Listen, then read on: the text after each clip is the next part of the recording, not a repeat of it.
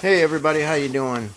This is uh 1962 Johnson CD19, five and a half horsepower. Um, it's got a broken shift handle over there. Somebody had pop riveted and cobbled down a chunk of steel and yeah, we don't want it like that. Uh, so when we get into that, and the only way to get to that to fix it is to pull the power head. And while we got the power head off, we're going to change the impeller and we're going to put a new drive shaft to crankshaft seal down in there and um, did I mention change the impeller? Well, I did now. And then also there's an O-ring uh, I can show you. There's an O-ring in there too. This sits on there. This goes under the engine. And this, uh, there's a seal on it. Here's another one. It doesn't have an edge on it when you get it. It's a cork seal. But anyway, it goes the one that's still on this one. But then uh, you got this is also called a seal, but inside there you see uh, an O-ring right there. Yeah, so we're gonna redo that. Well, we got all this part. Uh, it's a great time to do it. You don't want to skip that. Uh, the part number for that, um, this is a Sierra number, but if you type that in at marineengine.com, oh, it's got it on there too. 303 347. That is the O-ring that goes at the top of the drive shaft. And it will go inside of that plastic seal. And again, that'll be setting right on top of that spring right there. Just like that. And I noticed uh, whenever I do these, when you're trying to push that down over the drive shaft, that O-ring wants to pop out of there. So I take the the metal portion of the seal and dump it all back out again. I take this portion here and I set it down over with the flat side I just set it on there, line it all up with the hole, and then I'll push it down over the drive shaft. Otherwise, that O-ring's going to keep popping out of there for you. I'll put all this stuff back in here.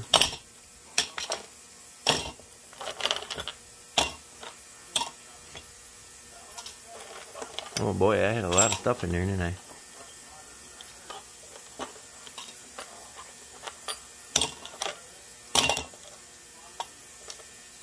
Sorry about all that.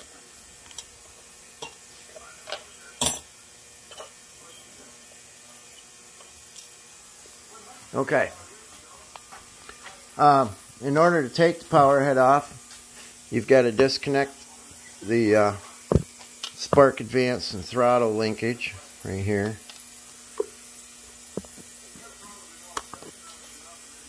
Just pop the stainless clip off of it.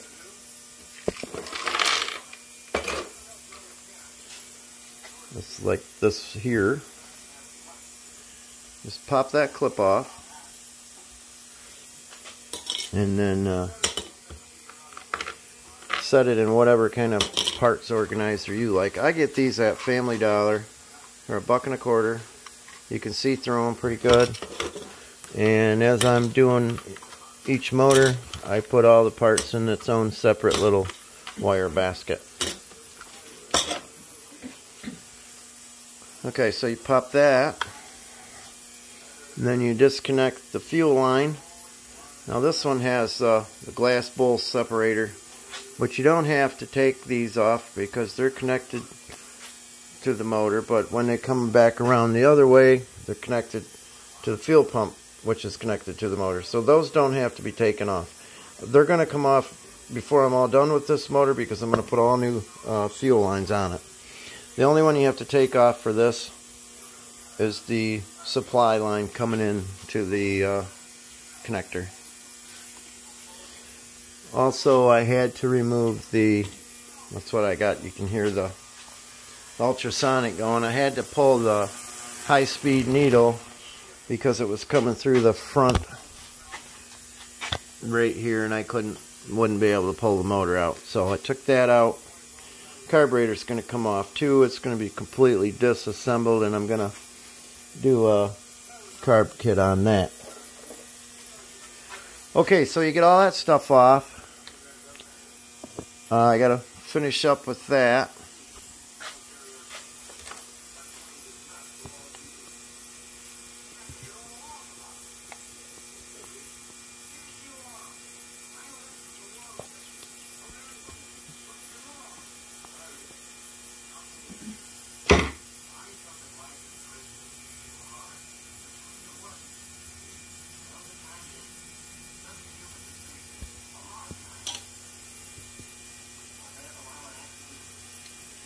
I just roll it out of the way instead of taking all that out. Just pull that up out of there.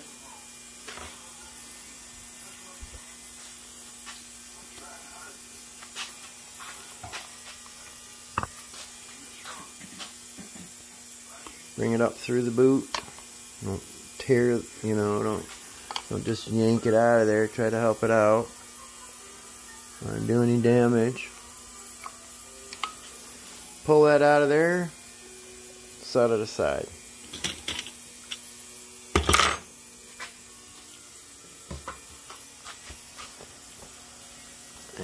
Get me a rag here. Okay. Underneath here, you're going to find on uh, on the older five and a half Johnsons. There's seven bolts under here, and they're all flathead screwdriver.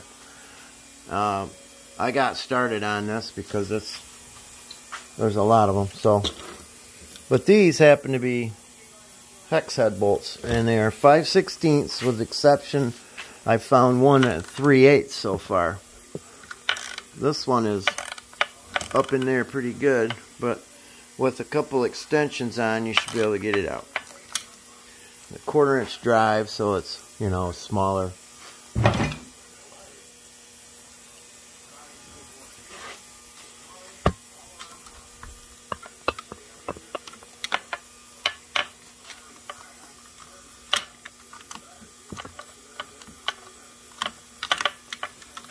Now I'm having a hard time getting that back on there and holding the camera. Uh, let's see.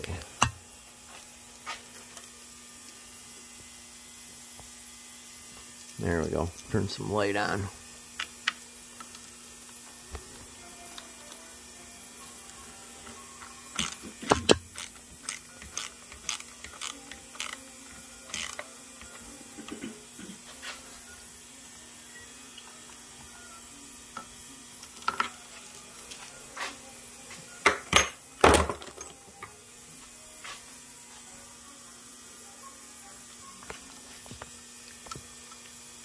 Sorry about the camera going all over the place. I'm trying to see what I'm doing and hold the camera. Get that bolt out the rest of the way.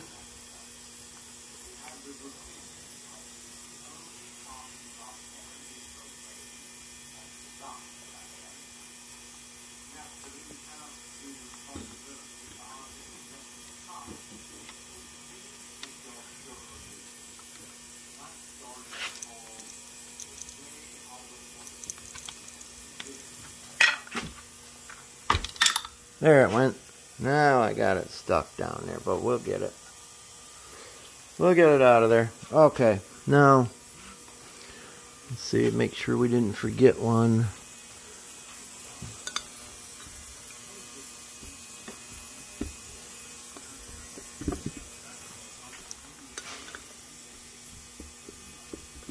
I'm going to set the camera down.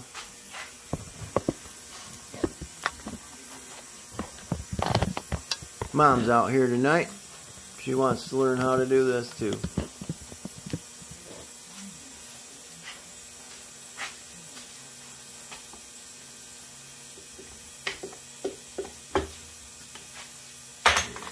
Maybe there's one on the 62 that I'm unaware of.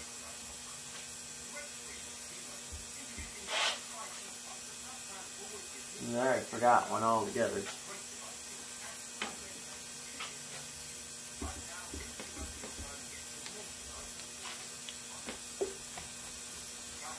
Oh, I see what it is. I've got to take that gland nut out of there. The gland nut on the high speed carburetor jet is uh, going through the front. I thought I could lift it enough to pull that back, but it's not happening.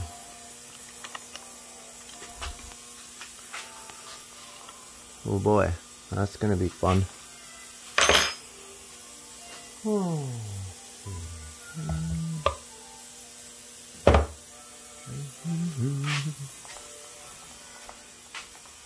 Life throws curves at you sometimes.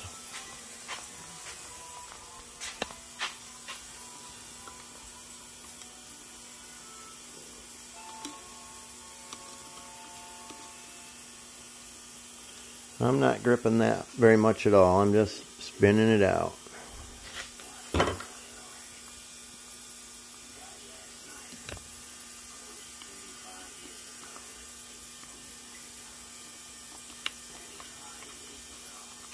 There we go. Now it should come off. First time on a 62, it's just a little bit different, but basically it's the same.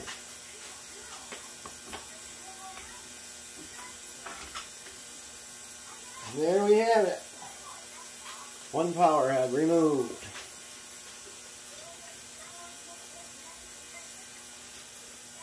Now I'm going to show you the assembly that I was talking about as it sits.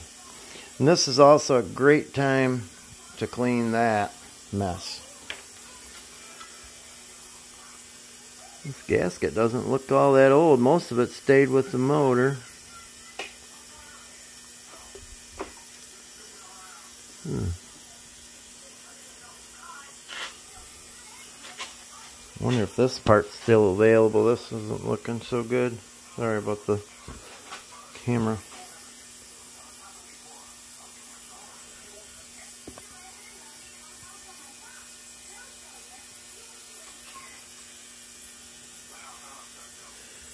Well, I don't have that anyways, but it's getting pretty brittle.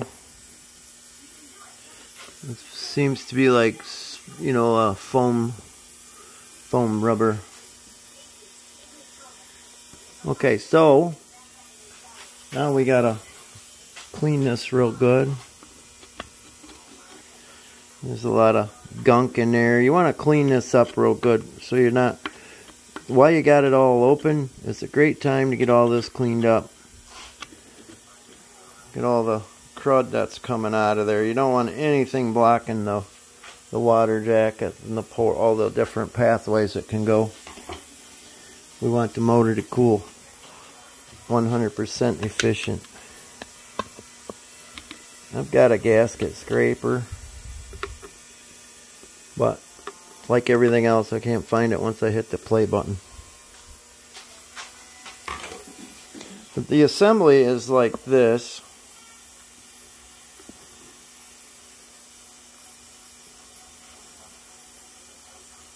You lift that up, you're going to find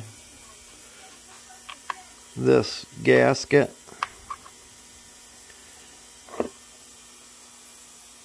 That baby's really whopped out. Uh, the last time I ordered them, I got a five pack. So, let's see. Let's see. I just did this one. This is a 1958 Gale 5 horse. It's very similar except for the gasket. Everything's the same except for that gasket. There's uh, it's a little bit different. So if any of you Gale uh, fans out there uh, need that part number, I do have it. Uh, just got to find those. Find the gaskets. Anyway. Put all your parts in there. Okay, this is that part I was telling you about that's going to be, uh, you put, also, uh, yeah, I think I showed you the part number on that.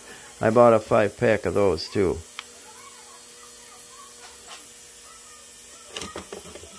But that will come out of there.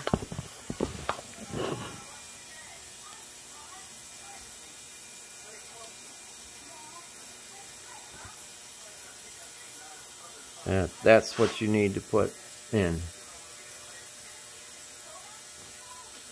This one is, when you compare the one you take out to the new ones, you're going to see a difference because a brand new one is going to be round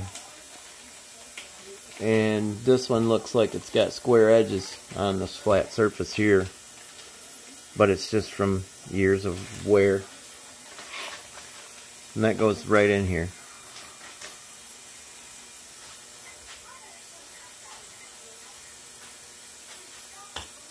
Okay, next let's take the drop the lower unit. We'll take these extensions off of here.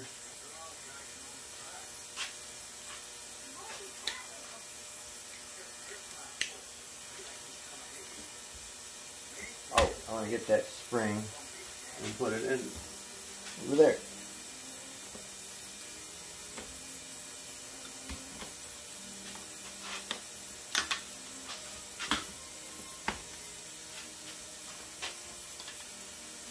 Have to put some tension on that. Let's see, a 9 16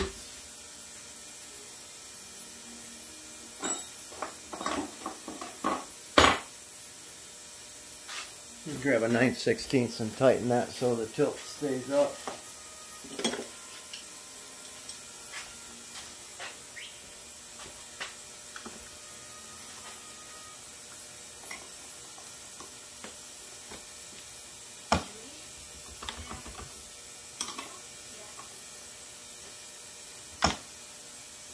There we go, now it's staying up.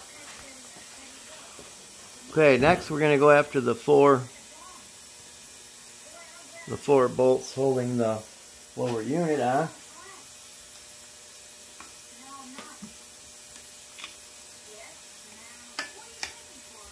That's two. I've had these break off before. I had to drill them out and tap put a helicoil in. That's three.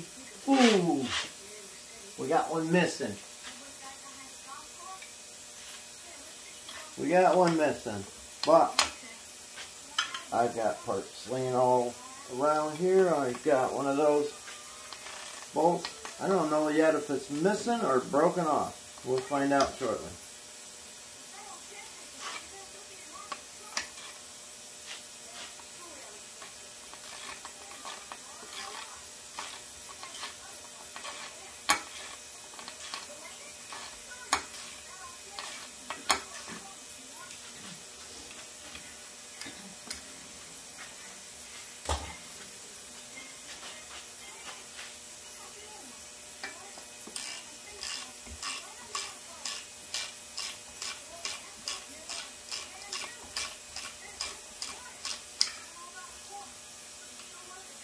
One more to go. Then I can see if that's actually just, if it fell out in the water in the lake someplace and a fish ate it, or if it broke off. If it is, I've got a helicoil kit with the insert, and we'll do a separate video on that.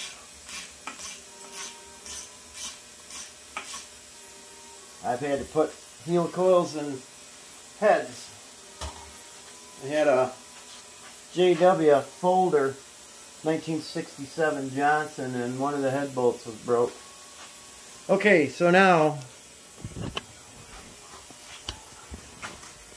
that was this one here that that was missing, but I don't know if it's broke off. I can't see it yet. We got, uh, you take one, two, three, and four. You get those out. And I don't like to just rip it off of there. I, I like to wiggle and pull. Because I want that water tube to stay up in the motor. Just give it just nice, steady, easy pressure.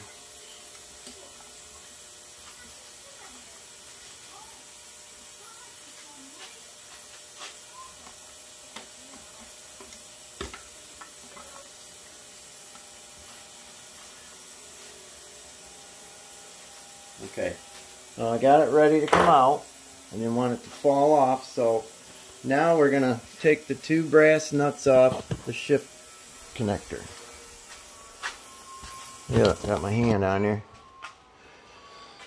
Those are 3 eighths, and they're right there.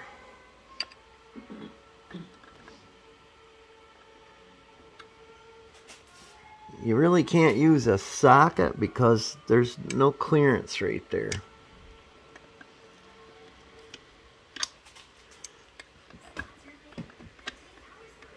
Hmm.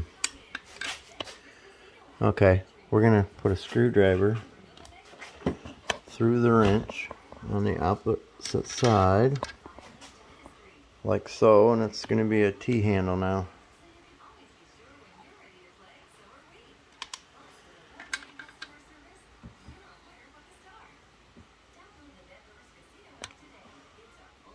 There we go.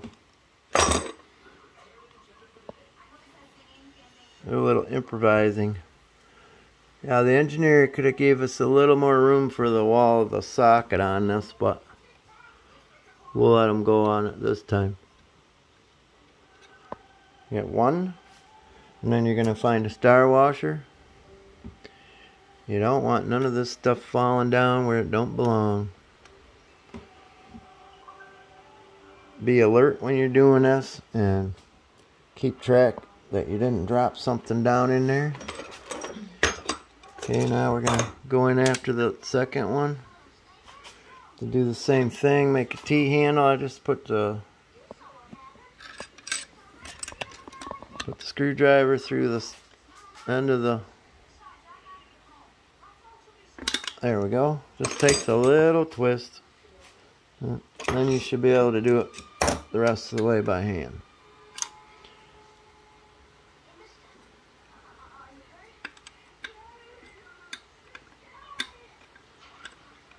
I'm I'm addicted to uh, Alfred Hitchcock Presents. I got it streaming in the background. One of the reasons is I like mysteries, but every once in a while, and this is all from the 50s, you'll see a Evinrude or Johnson or Martin. He used uh, there was a lot of outboards in his half hour short thriller suspense stories. Also the main feature the birds that he did there was a martin in that movie in one of the scenes. Okay. You got that now I'm gonna set the camera back down and we'll get the thing the rest of the way up.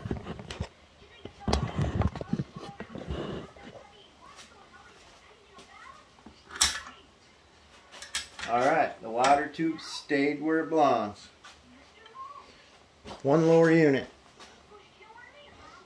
Now if this uh,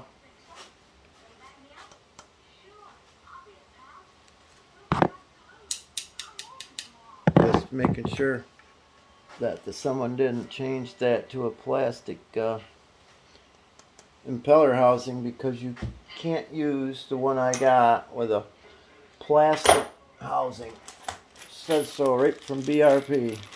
Well, I hate to even say that. Evinrude Johnson. I made a mistake. It's not BRP. Do not use this impeller kit with a plastic housing.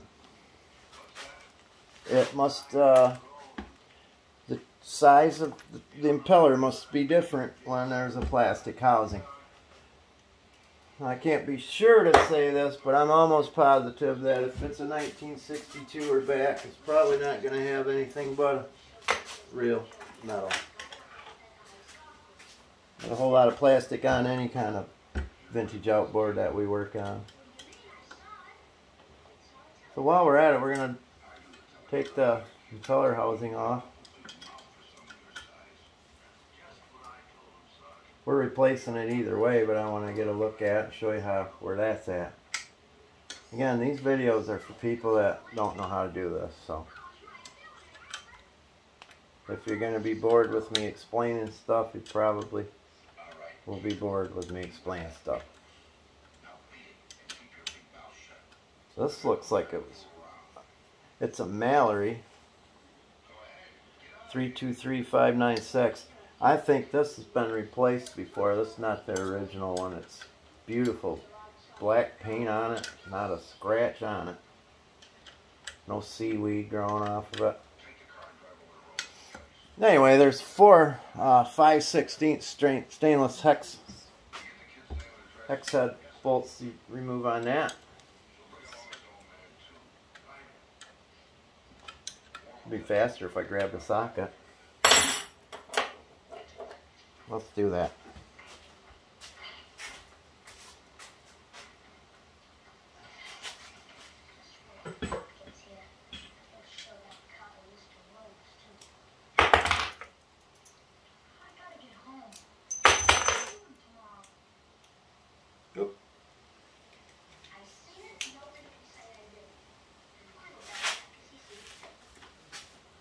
Oh, also, there's a roll pin in here that you got to pull out.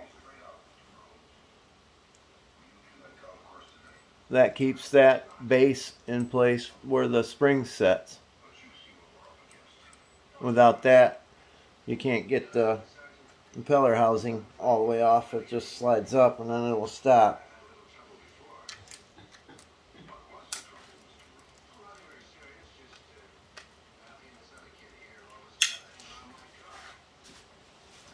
Let's move over here to the fixture.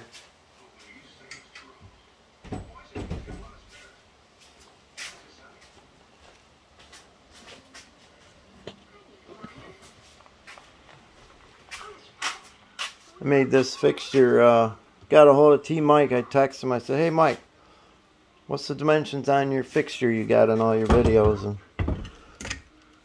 next thing I know, he sent me a link and he made a video and he said, this is for Doug in Michigan.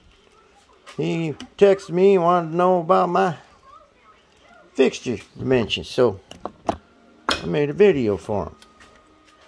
I really appreciated that. I sent him some fishing lures as a thank you.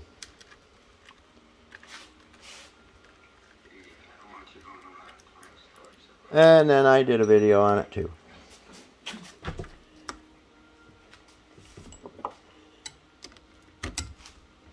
If I had a better camera set up, I wouldn't have to do everything one-handed. The videos wouldn't be so long and I wouldn't have to talk so much, right?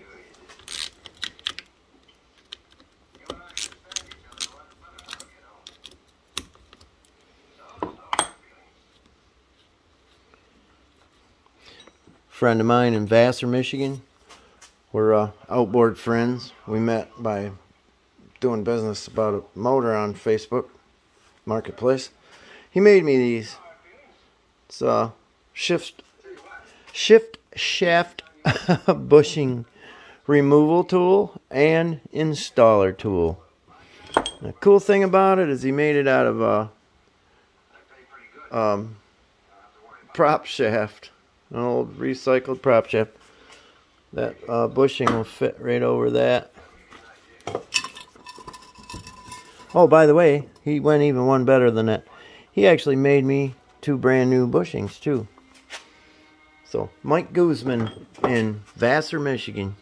Kudos to you, buddy. He made those down in his basement. Those will be going in right there shift shaft seal. It's hard to say that without getting in trouble. Alright,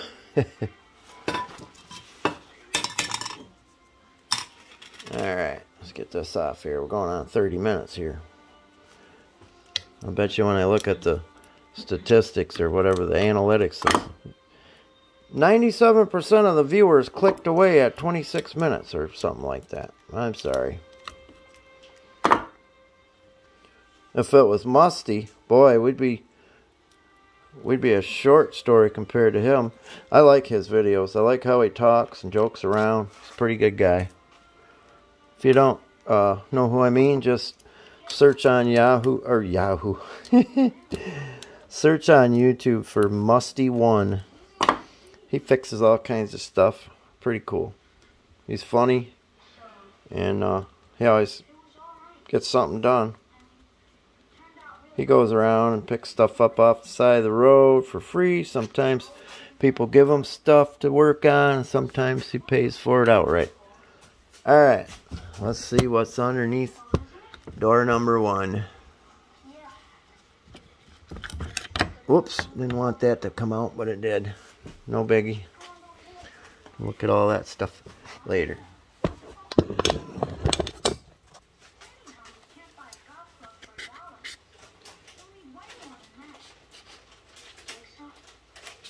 Surprise, surprise.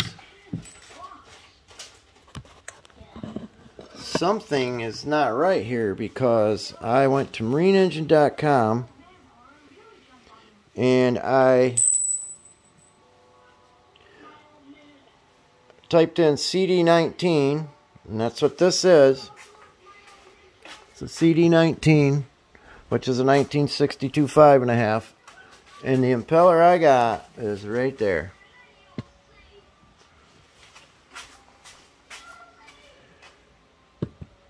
That one. But this has a tiny little, tiny little one. And I just noticed my uh, parts, magnetic parts tray was just stuck to the bottom of my tripod. fell on the floor. But I think we're in luck because over here in my parts cabinet. I just don't understand why the part shows up different. Why it's actually different. Okay. Wow, this is strange. I think that's the impeller. But this don't look the inside does. The cup there looks just like the one we saw inside that other. But, I got another one in here. 763736.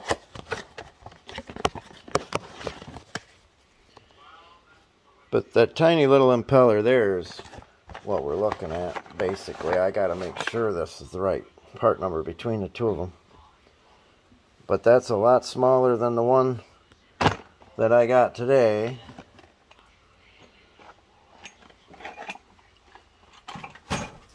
Huh. Well, there we go. I don't know what... Yeah, I typed in CD19 and it told me to get uh, part number 379764 but that definitely is not fitting in there.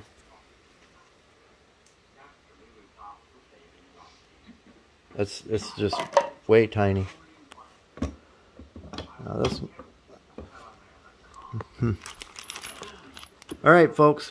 We're not going to get to that right now because I got to sort this pump uh, problem out Hmm. All right, but that's that's how you get the uh, motor off. That's how you remove the lower unit. And uh, when we go to put it back together, I'm going to have another video. Uh, just make sure you clean this. Now you don't want to scrape and gouge any of this. You want to take your time Get it nice and clean and you don't want a bunch of anything falling down in there. Just try to avoid that. Keep it up in the air like this so if anything falls it'll fall down this way rather than down in there. All right, have a good night, and thanks for looking in.